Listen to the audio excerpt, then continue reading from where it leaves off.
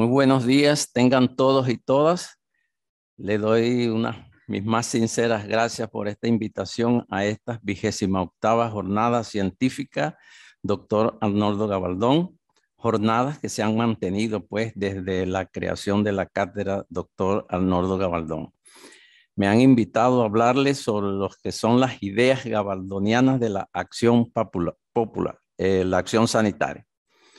Bueno, este, para hablarles de la acción sanitaria, quise escoger un contexto que va desde el año 1936 hasta la época en que el doctor Gabaldón fue ministro de Sanidad y Asistencia Social y pudo cumplir su gran sueño de la creación de la Dirección General de Malariología y Saneamiento Ambiental. Veamos brevemente qué teníamos para el año 1936.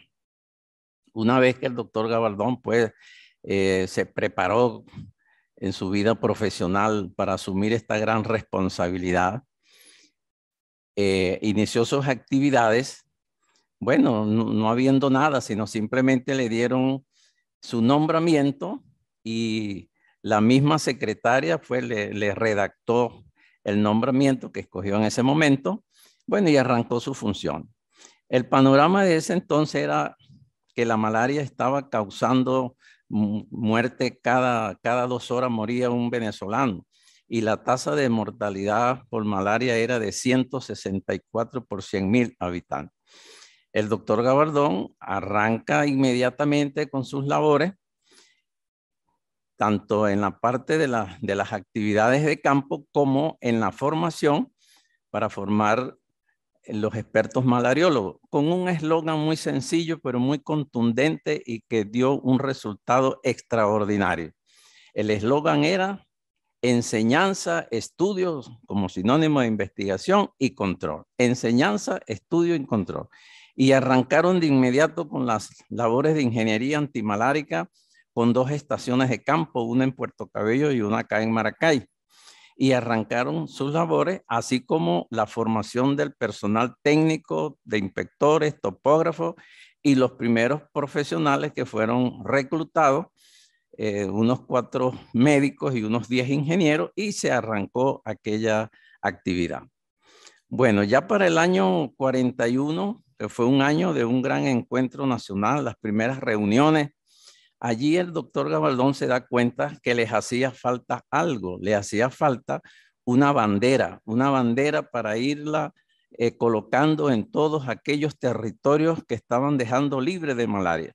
Pero junto a esta bandera, la bandera de la malariología, conjuntamente también ya la experiencia había mostrado que se tenía que construir un espíritu de cuerpo, un espíritu de cuerpo que consistía en el trabajo con constancia, exactitud e interés y el aprecio entre los compañeros de trabajo con la colaboración, la estimación y la lealtad.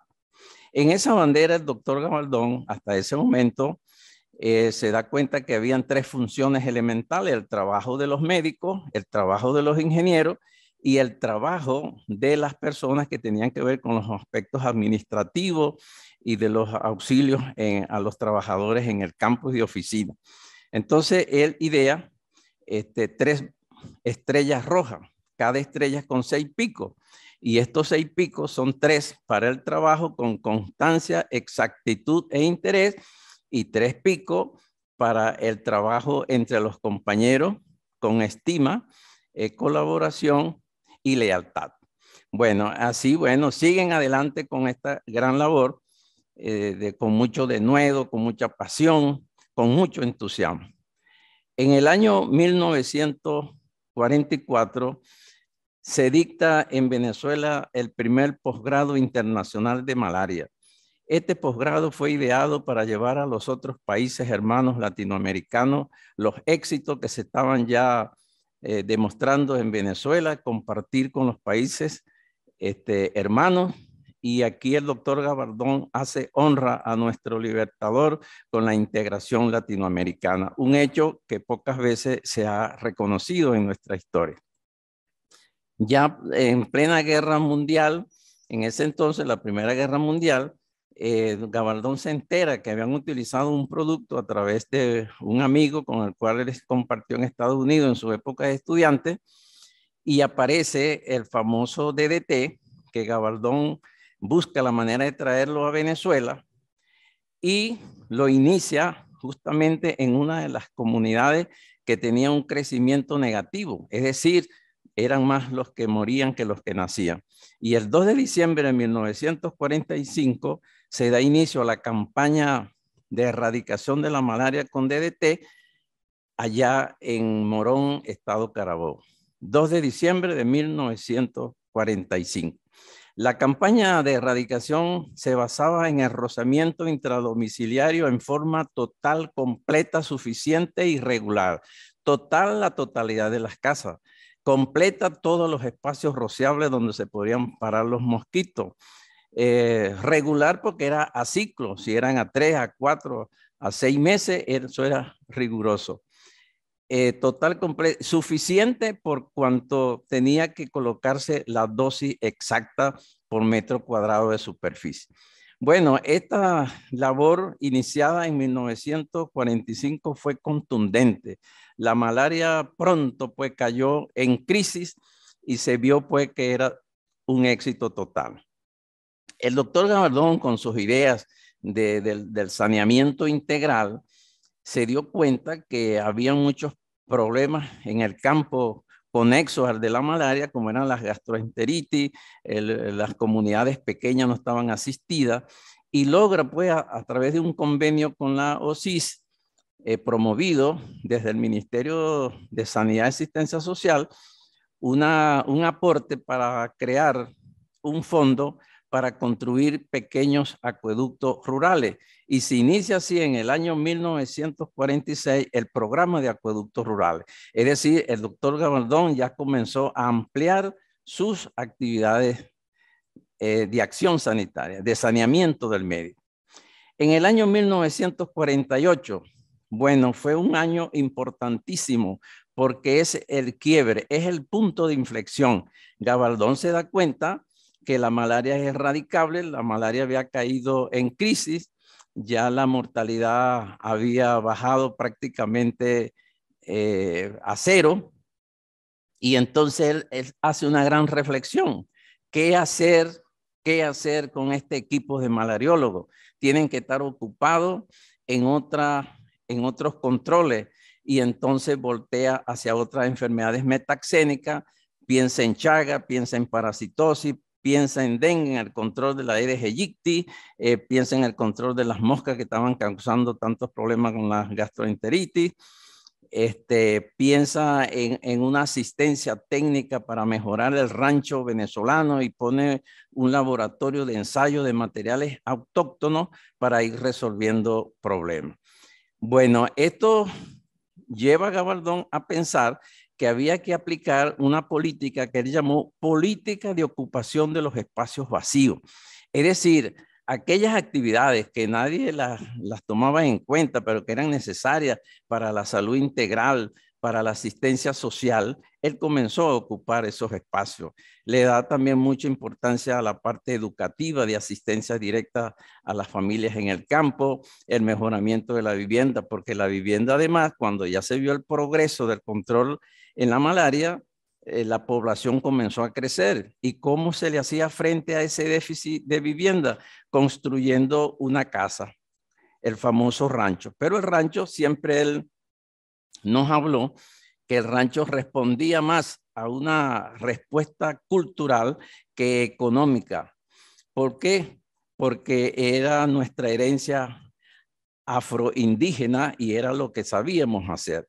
Sin embargo, el rancho todavía se convierte en dos problemas. Uno, porque las superficies eran, no eran buenas para rociar y otra porque se convierte en el refugio del chipo transmisor del mal de Chaga. Y por otro lado, las excretas no tenían una correcta disposición y comienza entonces a, a darle importancia a la construcción de electrina. Es decir, amplía el rango de acción de las acciones sanitarias para una salud integral de las poblaciones menores de 2.000 y de 1.000 habitantes hacia abajo.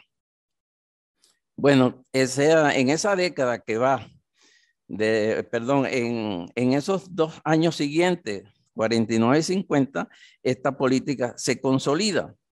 Y vemos entonces que por ese cambio hacia otras enfermedades metaxénicas, en el año 1950, eh, el posgrado ya no era solo, solo para malaria, sino que había que incluir las otras enfermedades y había que estudiar muy bien su epidemiología, tomando como base el estudio exhaustivo que se hacía en la epidemiología de la malaria, luego se extendía hacia las otras enfermedades para comprender bien aquellas condiciones, ¿verdad?, en que se daban. Bueno, eh, así entonces el posgrado pasa a llamarse Posgrado Internacional de Malaria y otras enfermedades metaxénicas. Desde el año 50 al 58, por supuesto, hay una consolidación en la erradicación de la malaria. Ya aproximadamente se habían saneado más de 200 mil kilómetros cuadrados eh, de malaria. Este, y vamos avanzando y los acueductos comienzan a construirse ya en mayor escala en asociaciones con las gobernaciones de estado, en algunos casos con alcaldía, se incorpora la participación comunitaria en esas series de actividades y llegamos al año 1958 cuando una vez se dan las condiciones para el comienzo de la democracia en Venezuela, se crea el Programa Nacional de Vivienda Rural, un gran éxito y comienza así pues una política agresiva, ¿verdad? Para sustituir el rancho venezolano por una vivienda higiénica que dé las condiciones mínimas de habitabilidad e higiene y consolide a la familia del medio rural venezolano que estaban abandonadas. En, el, eh, en este mismo año, 1960, que está también en rojo, lo puse en rojo, es porque quiero resaltar acá que es cuando se crea la Dirección General de Malariología y Saneamiento Ambiental, que fue la gran obra con la cual soñó el doctor Arnoldo Gabaldón tener dentro del Ministerio de esa Sanidad o de Salud, si queremos decir, una institución que fuese capaz de dar la atención al, medio ambiente donde vive el humano, que es tan importante como la otra parte de la medicina curativa. Entonces, él ve, porque en ese momento Venezuela se pone a la, a la par de los países más avanzados. Igualmente recibió muchas felicitaciones, entre ellas de los Estados Unidos, porque tenía una institución para atender esto tal cual como ellos también la tenían ya, aunque Gabardón realmente se adelantó en muchos otros países. Bueno, el posgrado entonces, por este gran avance, ya no es de malaria y otras enfermedades metaxénicas, sino que se le da una cobertura mucho más amplia y es posgrado internacional de malaria y saneamiento ambiental. El doctor Gabaldón es ministro de Sanidad y Asistencia Social y logra, logra, ¿verdad?, darle énfasis a todos los programas y además de la acción sanitaria en el medio rural, da pie a otros aspectos muy importantes como la medicina simplificada. El doctor Gabardón allí se adelanta incluso al concepto de salud aprobado posteriormente, se adelanta a la vivienda eh, digamos, la vivienda sana que se habla después, a la vivienda saludable, que se, se le dio mucha importancia en la, en la, década de los 80, pero que Gabardón la venía trabajando desde el año 1948, luego con un programa en el 58 y da pues la amplitud a todos los programas que se requieren para una acción sanitaria contundente que elimine todos los agentes morbígenos que dé un ambiente saludable, un hábitat vivible, este, eso que hoy llamamos el buen vivir, ¿verdad? Dentro de un espacio cómodo que facilite las relaciones humanas, la interrelación social y que facilite la realización de las actividades psíquicas del ser humano. Pero veamos este, ¿Qué quiere, cómo se define la acción sanitaria en la cual el doctor Gabardón puso en práctica? La acción sanitaria, es decir, las funciones de gobierno dirigidas a atender la preservación, la restitución y la promoción de la salud, se llevan a cabo en dos grandes grupos de medidas. Primero, las que son desarrolladas sobre el hombre, sobre el ser humano, las cuales constituyen la medicina en sus ramas preventiva, curativa y constructiva de la salud. Y las otras que son las desarrolladas sobre el medio habitado por el hombre, constituidas por diferentes actividades de saneamiento ambiental. Esto lo dio a conocer Gabaldón eh, en su carta mensual como ministro de diciembre de 1960. Eh, en la siguiente, en esta lámina podemos ver cómo se desglosa ese, ese pensamiento, el pensamiento gabardoniano de la acción sanitaria. Los dos grupos de medidas, las desarrolladas sobre el ser humano, que constituyen la medicina preventiva, curativa, constructiva, y las medidas desarrolladas sobre el medio habitado, que son las medidas para hacer el, saneamiento ambiental o hacer el ambiente salubre, apropiado y adecuado. ¿Qué había en ese momento? Como dije anteriormente, en el año 1936, que se fue corriendo en el tiempo porque las actividades a veces no se daban en la cobertura eh, total y contundente con que aspira cualquier salubrista. Había estas tres cosas que uno se pregunta, y estas cuatro cosas, perdón, este, prevalecen aún hoy, porque cuando se crea el Ministerio de Sanidad y Asistencia Social, una de las cosas que discutía el doctor Enrique Tejera Guevara con su equipo, y que por supuesto Gabaldón fue formado también este, por el doctor Enrique Tejera, y él lo consideraba su segundo padre, bueno, estas eran las cosas que, había que vencer. La enfermedad, la suciedad, la indigencia y la ignorancia. Eh, yo escuché al doctor Gabaldón decir, bueno, la enfermedad obviamente nos tocaba a nosotros y la enfrentamos y asesoramos y dimos este, todos los lineamientos posibles para acabar con la enfermedad. Hicimos todo el esfuerzo, esfuerzo humanamente posible.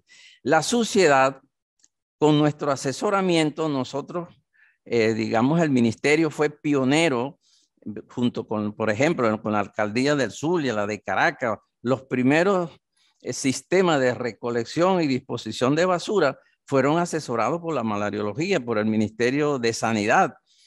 Eh, se suponía que la ignorancia era un trabajo de el Ministerio de Educación y la indigencia, bueno, eh, que tiene que ver un poco con la parte económica, los ministerios de economía, pero en, definitiva lo que quiero significar que esos cuatro males había que vencerlos con una unión nacional y cada quien que asumiera sus responsabilidades. Veamos con más detalle lo siguiente.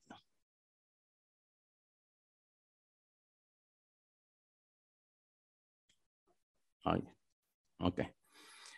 Bueno, aquí tenemos medidas aplicadas al medio para convertirlo, que son las que corresponden al saneamiento ambiental, que es, digamos, el fuerte de la Dirección de Malariología o el Ministerio de Salud en esta parte que le correspondió llevar adelante al doctor Gabardón.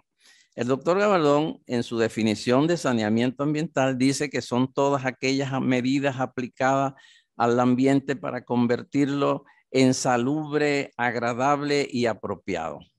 ¿Qué significa salubre? Es la eliminación total de aquellos agentes morbígenos, biológicos, físicos y químicos que causan daño a la salud.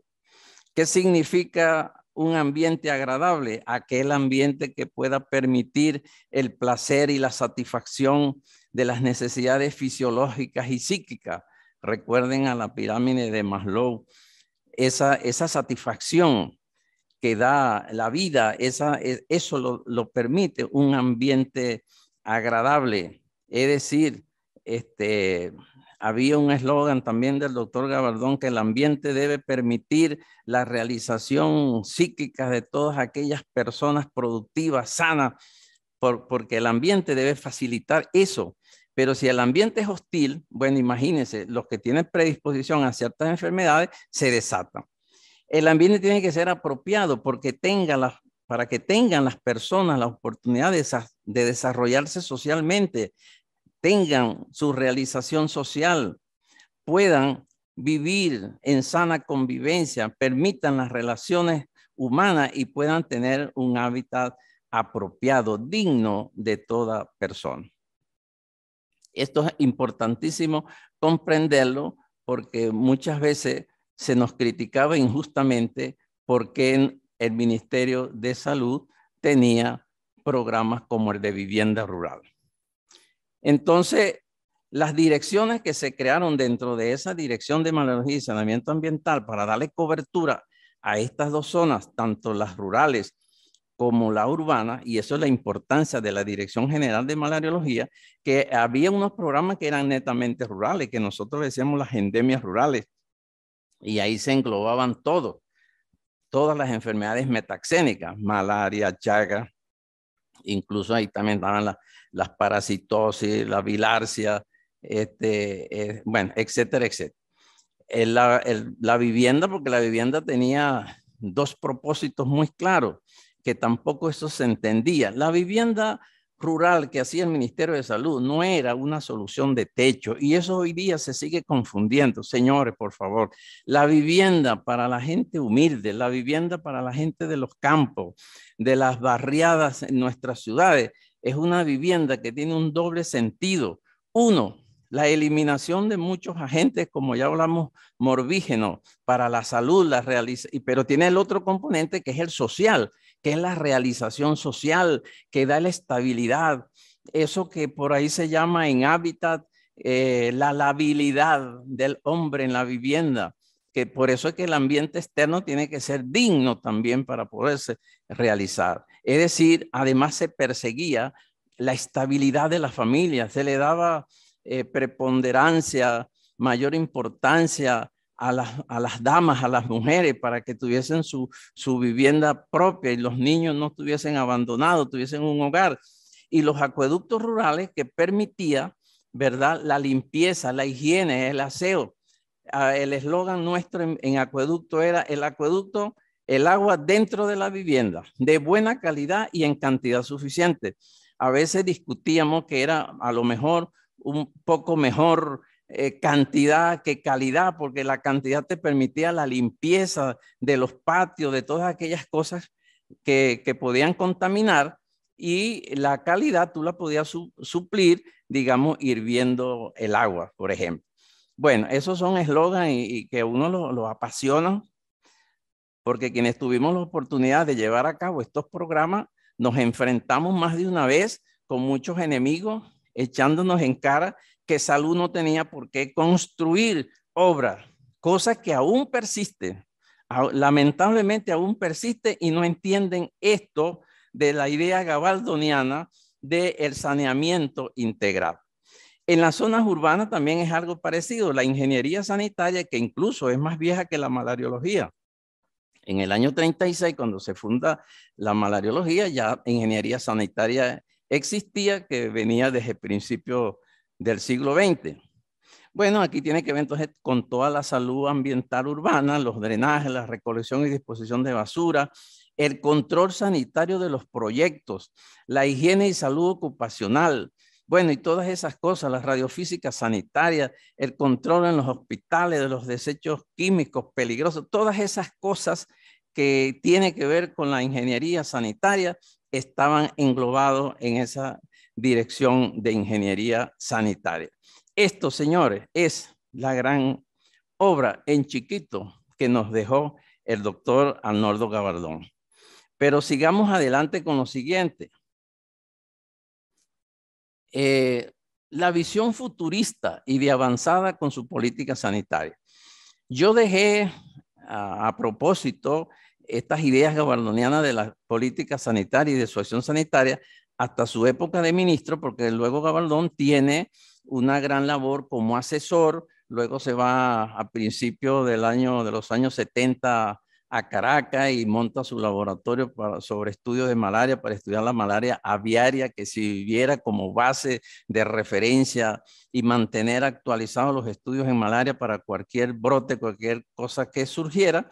Y luego se da esa tarea de, explorar otros campos, asesorar en la parte eh, educativa. Fue un gran, una persona muy preocupada por la educación en Venezuela tenía un eslogan que siempre lo recuerdo, que decía, hay que ir de lienzo a seda, jamás de seda a lienzo. Es decir, hay que ir de menor a mayor, hay que ir mejorando constantemente y tal vez sea, eh, digamos, el estímulo, sea la recomendación más importante para estos jóvenes eh, médicos, ingenieros y de otras profesiones que están incursionando en salud, que tengan arrojo, que tengan denuedo, que tengan dedicación, pasión por las cosas que tienen que ver con nuestra salud.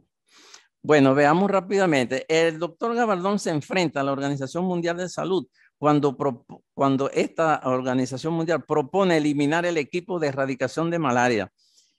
Y dice textualmente el doctor Gabaldón, la Organización Mundial de la Salud no debe tener por objetivo únicamente la erradicación de la malaria de un país, sino el mejoramiento de las condiciones que afectan la salud. Doctor Arnoldo Gabaldón 62. Para este momento, el doctor Gabaldón era asesor de la Organización Mundial de la Salud y acababa de venir de por allá de Turquía en una de esas, eh, digamos, visitas que él hizo como asesor. Entonces, un equipo que costó tanto como el de Venezuela, el equipo de la malariología, vean que en el año 48 él le da otra utilidad al equipo, no lo, de, lo, lo, lo, acaba. Y él luchó mucho aquí en Venezuela porque él estaba consciente de que cuando él muriese, ¿verdad? La malariología la iban a acabar. Bueno, cosa que lamentablemente ocurrió, pero él estaba claro en eso porque era como una pelea interna. Siempre la medicina curativa este, no veía con buenos ojos la, otra parte de la ingeniería sanitaria. Pero bueno, esos son gajes del oficio seguimos que seguir luchando con eso. Bueno, obviamente pues se estaba refiriendo a ese gran equipo de la malariología y que a veces decíamos, hablábamos pues de los héroes anónimos, porque personas que no aparecían, pero eran contundentes y clave en el éxito de este gran esfuerzo. El doctor Gabaldón eh, retoma la experiencia de las visitadoras rurales de los años 30 y con el apoyo de médicos como José Ignacio Baldó y Enrique López Vidal, formula el programa de medicina simplificada que resultaría pionera de la atención primaria en salud y muy anterior a la difusión en el mundo que se hizo al programa de médico descalzo de China, para que vean pues la, la grandeza del pensamiento sanitario de Gabaldón.